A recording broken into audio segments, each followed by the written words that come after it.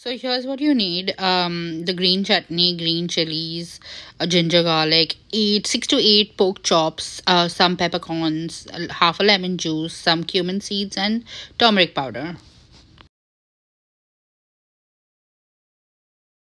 Going to so we are going to grind the green chilies, ginger garlic paste, some chutney, uh, maybe like about four maybe like four to six spoons of the chutney and uh, squeeze the lemon juice along with the peppercorns and the cumin seeds um, and grind this to like a nice uh, smooth paste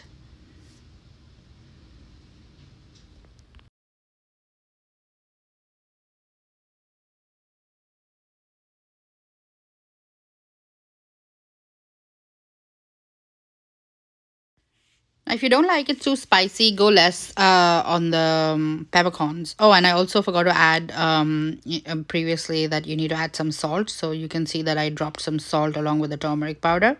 So do that as well.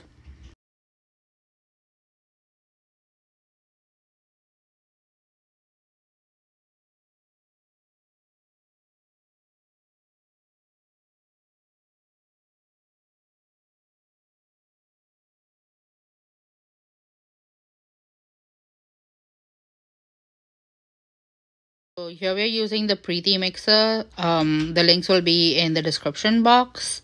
It comes, this one makes it really smooth, so we use that. And here are the pork chops ready for the marinade to go on it. So we're just gonna uh, smear all the the ground um, spice mix. And um, yeah, I mean, just smother it all over the pork chops at the back. Just keep moving them around and uh, cover every centimeter of the pork chops.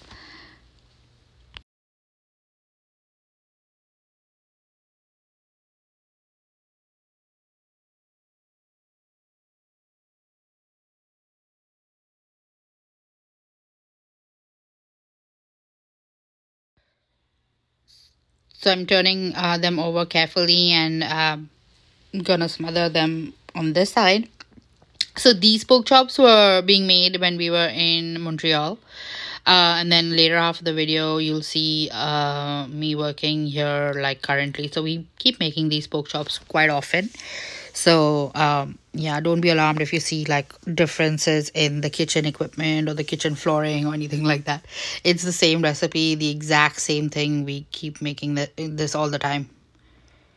So once we marinated, um, or not marinated really but once i apply the mix. Uh i usually keep it for like um 20 minutes 15 to 20 minutes and then i move on to the next section. So um the egg is something that you can add uh, along with the green chutney mix or you can add it later as well. And here you can see this is what i'm going to add to the breadcrumbs. Chili powder garlic powder and salt just mix it up with the panko uh, breadcrumbs that you've put in a plate or a tart and preheat your oven to 450 degrees Fahrenheit.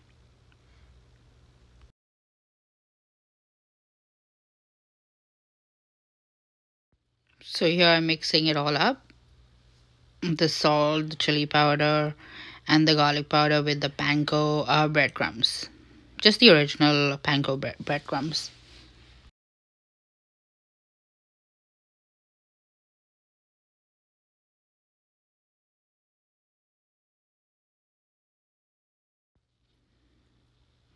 So since I forgot to add the egg before, I'm breaking the egg now. And then I'm applying it right now. But this time when I made it here uh, in Vancouver, I um, I just added it uh, to the spice mix while I was applying the green spice mix to the pork chops. So here it goes in and then you just um, so usually you're in this so today i i didn't do it this way. I put the breadcrumbs with my other hand. I used my other hand to add the dried breadcrumbs to the pork chops. I think it's more it's more efficient but anything works. I mean you know as long as the breadcrumbs are on the pork chops that's what's important. So there you can see them ready to go inside the oven so we'll bake it for about in total for 25 minutes but um, we'll turn them in about 15 minutes. So in goes the trays for about 15 minutes. Take them out turn them and then in for another 10 minutes and then it should be done. So here they come out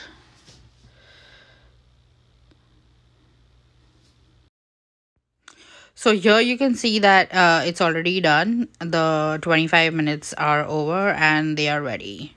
So next the next video um the next few seconds i'll show you what we did right now. You'll see the so this one is the montreal pork chops and then the same thing uh we did here today in vancouver. So that will show up in a bit. Yeah here you go. So we are checking the temperature. It has to be uh 145 degrees uh, fahrenheit or about i don't know i think six 65 degrees um, Celsius. So this is 196. It's cooked. We're going to turn them all. There you go, babe. Turn them. And then we cook them. Yeah, yeah, yeah. Take the fork for support. Super.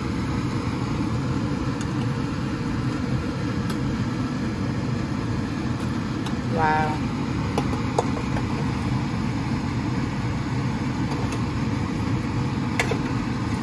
So it's been about uh, 15 minutes, right? So another 10 minutes and it should be done.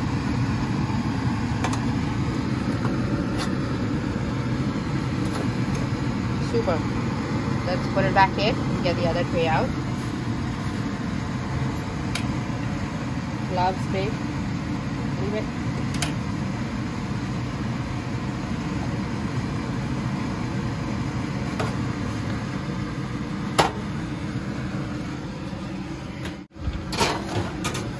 the next one out.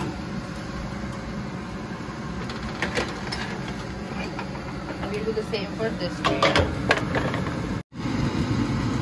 Look at this tray, my mind.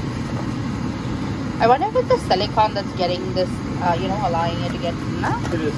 It is a silicone mat. But then it's blackening. It is, it is blackening, yes, I agree. Okay, let's put this one in. So 10 minutes again at 450 degrees and then we'll remove it and serve it. Alrighty. Removing the silicone tray, okay. How cool.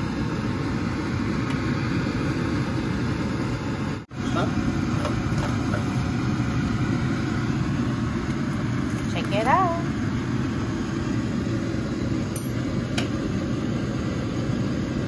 And we've had this a million times and it comes out so good every single time.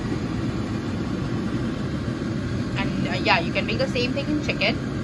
Just the baking time will be different. I'll write it in the description box. Okay, let's look at this tray.